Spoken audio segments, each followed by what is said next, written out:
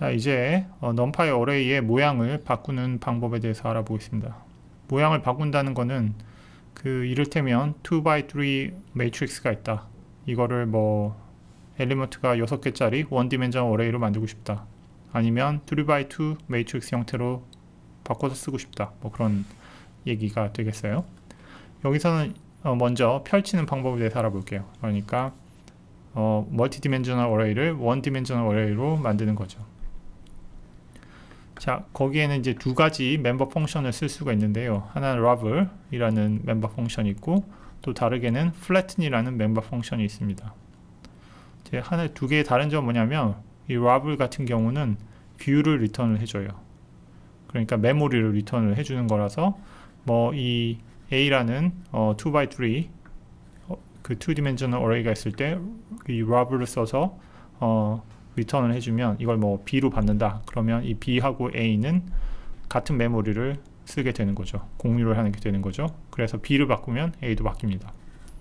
근데 flatten으로 펼쳐서 리턴을 하면 이거는 새로운 메모리 공간에 그 값을 써서 리턴을 하는 거예요. 그래서 카피가 일어나게 되고요. B랑 A는 아무런 상관이 없게 돼요. 그래서 B를 바꾼다고 해서 A가 바뀌는 것도 아니죠. 자 어쨌든 어, 이렇게 이제 1, 2, 3, 4, 5, 6으로 펼쳐지고요. 이 두 가지 member function을 쓰면 자, 이걸 콜을 했다고 해서 A가 바뀌는 건 절대 아니죠. 그죠? 그 view를 새로운 view를 리턴을 해주는 거지. 아니 여기서 이제 새로운 카피를 리턴해주고 여기서 이제 새로운 view를 리턴을 해주고 A는 건드리지 않아요. 그래서 A는 그대로 있고요. 어, 여기서 이제 a.t를 도 콜을 하면 이건 이제 transpose죠. 매트릭스 transpose를 리턴을 하면 이제 transpose가 돼서 나오죠. 그죠? 역시 이것도 view를 리턴을 하는 거죠.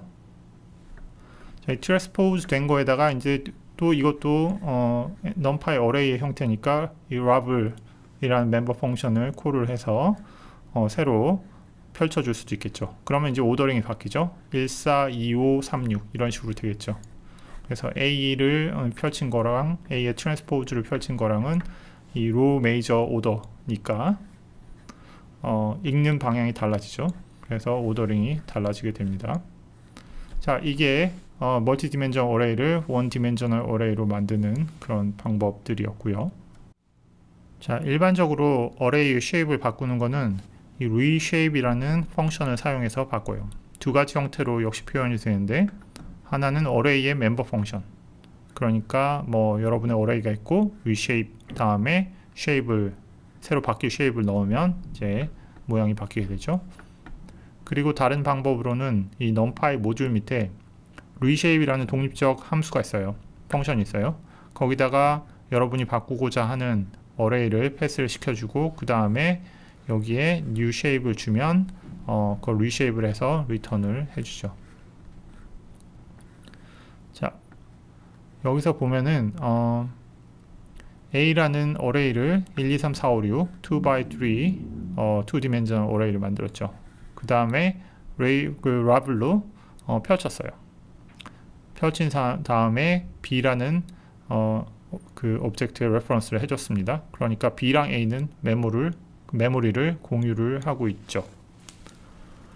그 다음에 B를 reshape를 했어요. 이제 2,3로 했으면 원래 모양으로 돌아오겠죠. 그죠?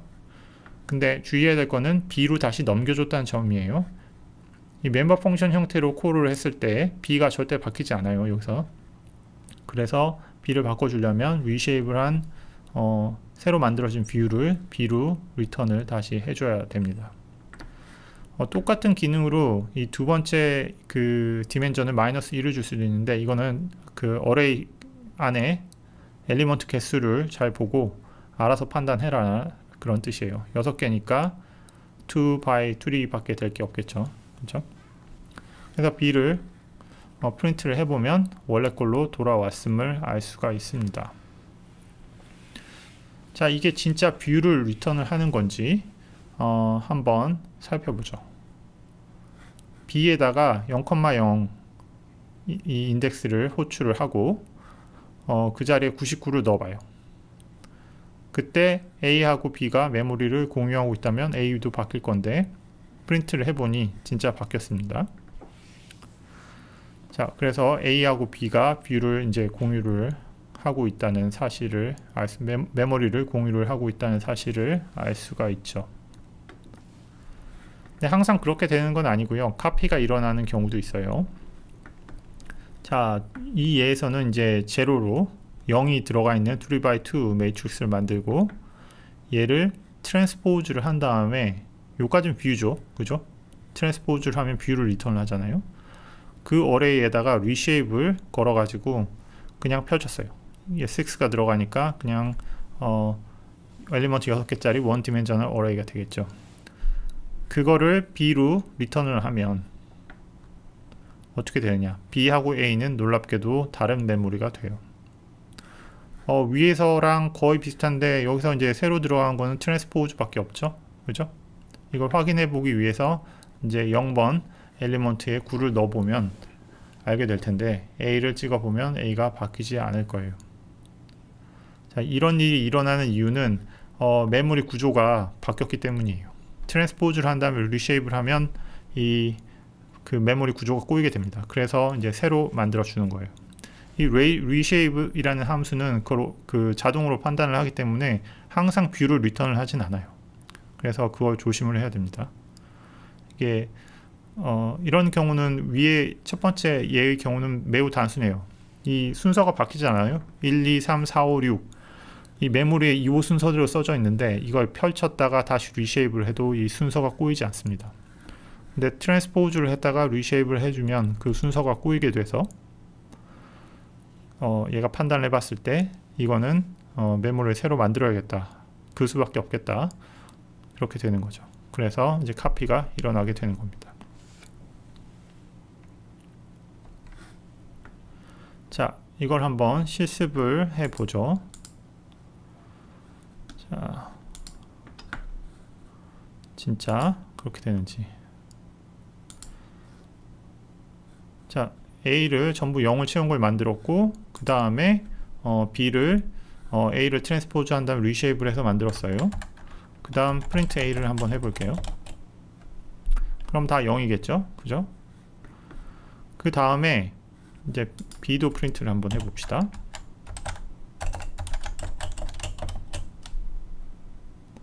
자, 잘 되죠? 두 번째 B는 이제 다 0으로 채워진 거고 그 다음 B에다가 어, 9를 넣었어요. B0에다가. 그럼 여기 9가 들어가겠죠? B를 한번 출력을 해볼까요? 여기. B를 출력을 해보면 첫 번째 원소가 9가 되었죠. 자, 그러면 A는 어떻게 되느냐? A는 바뀌었을까? 안 바뀌었을까? A는 안 바뀌었습니다. 즉, 트랜스포즈 한 다음에 리쉐입을 하면 어, 카피가 일어난다는 사실을 알 수가 있죠. 그래서 단순히 여기서 어, ordering 그 element들의 ordering이 잘 유지가 되어 있는 상태에서 reshape을 하는 거랑 그렇지 않은 거랑은 굉장히 다른 결과를 줘요. 그래서 view랑 카피랑 어떤 게 return이 되는지는 생각을 해보던지 아니면 여러분이 테스트를 해보던지 해서 판단을 해야 됩니다.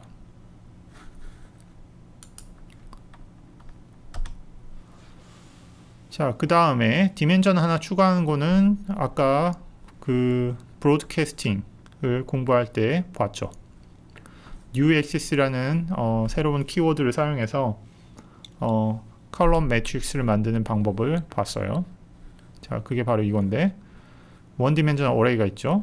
그거를 어, row 방향으로 주고 얘는 다 포함하는 거니까 그리고 새로운 어, dimension을 하나 열어줘라. 그러면 3 by 1 어, 그 array가 되겠죠. 매트릭스가 되겠죠. 자, 얘를 어, 또 그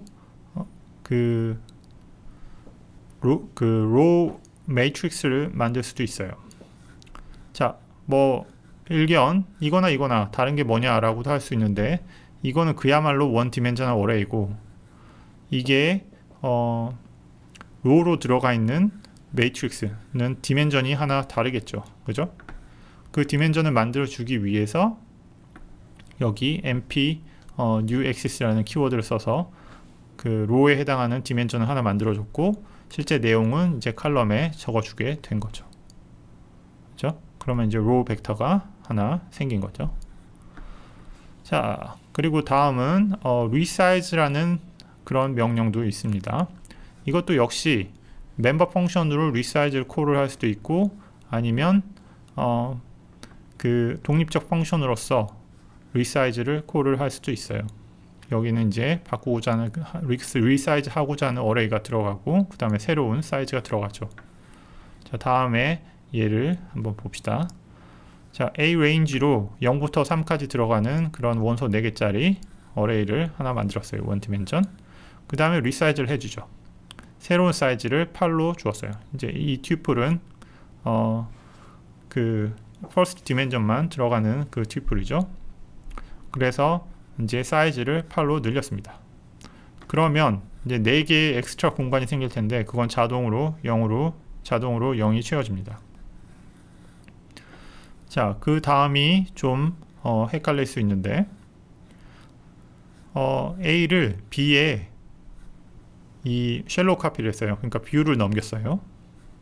그러면 A랑 B는 같은 메모리 공간을 가리키고 있죠. 그렇죠? reference를 하고 있죠. 그때 A의 어, 크기를 다시 줄여봤어요. 뭐 늘, 려도 상관없어요. 하여튼 바꿔봤어요. 바꾸면 어떻게 되냐? 에러가 납니다. 왜 에러가 나냐면 이 사이즈가 바뀔 때는 메모리를 이제 재설정을 해야 되잖아요. 메모리를 뭐 8칸 잡고 있다가 아니면 뭐 몇 칸을 다시 잡아야 되잖아요. 그런데 그 메모리 공간을 어떤 다른 object가 reference를 하고 있으면 이 메모리 관리 그 시스템이 자동으로 에러를 일으켜 버립니다. 보호하기 위해서죠. 그래서 어 이렇게 reference가 여러 군데 되어 있는 경우 resize를 하면 에러가 나요. 예도 한번 실습을 해보죠. 진짜 이렇게 되나? 자 이게 바로 그 예인데요. 어, np array 어, arange 4 해서 0, 1, 2, 3을 만들었어요. 한번 프린트를 해보면 이렇게 될 거고 그 다음에 resize를 해서 8칸으로 늘렸습니다. 어, 그래서 바로 나버리는데 print a 그 다음에 보죠.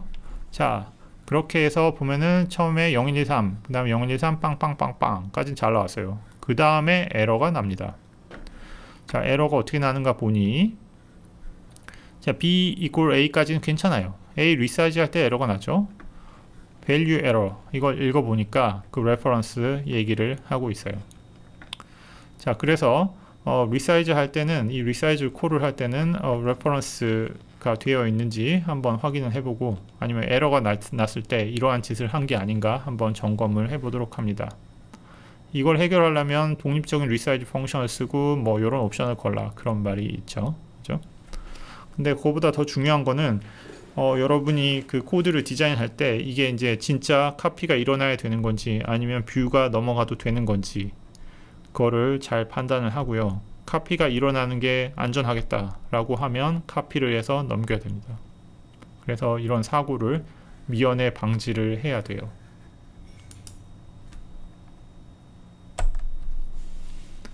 자, 그 다음은 소팅을 하는 방법인데 자, 소트라는 그런 어, 그 numpy 모듈 밑에 독립적인 함수도 있고요.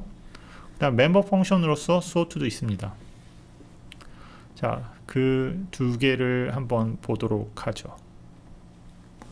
자, A라는 어, 어레이는 이 4, 3, 5, 1, 2, 1이라는 2x3 2 dimensional array 형태로 만들었어요. 거기다 이제 독립적 함수로서 sort를 call을 하고 A를 넘기고 어 뭐 저쩌고 하는데 이 두 번째 들어가는 axis라는 거는 어, 어떤 방향으로 sorting을 할 건지 그걸 지정을 해달라는 그런 옵션이에요. Axis 1이라고 했으면 이제 두 번째 dimension 즉 column 방향으로 sort가 일어나기를 원하는 거죠. 그죠? 해서 칼럼 방향으로 소트를 하면 4, 3, 5가 이제 3, 4, 5가 될 거고 1, 2, 1이 1, 1, 1이 될 겁니다. 그런 방향으로 소팅이 일어나서 그거를 B에 넘겨준 거죠. 그죠?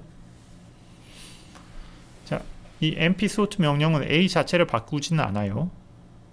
a 자체를 바꾸지 않고 a가 sort가 된 지정단 지정된 그 axis 방향으로 sort가 된 새로운 어, 어레이를 만들어 주는 거예요.